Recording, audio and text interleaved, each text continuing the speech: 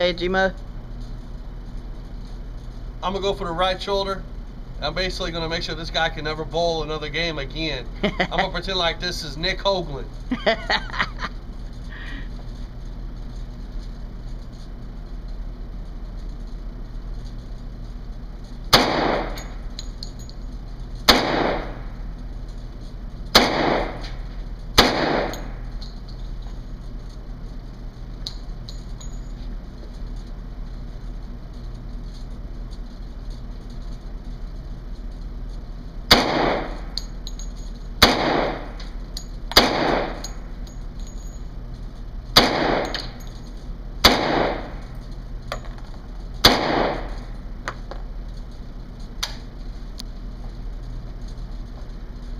right.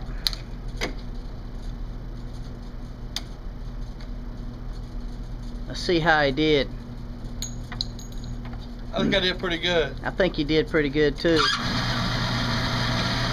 This is a right shoulder shot. Want to get right below, right below the, the right collarbone.